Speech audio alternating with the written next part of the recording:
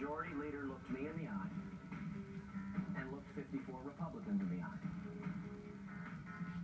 I cannot believe he would tell a flat out lie. And I voted based on those assurances that he made to each and every one of us. What we just saw today was an absolute demonstration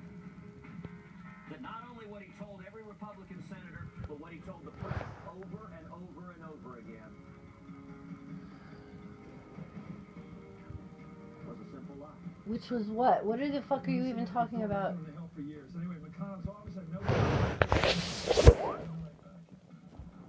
What was he lying about? Oh my god, these people are a joke.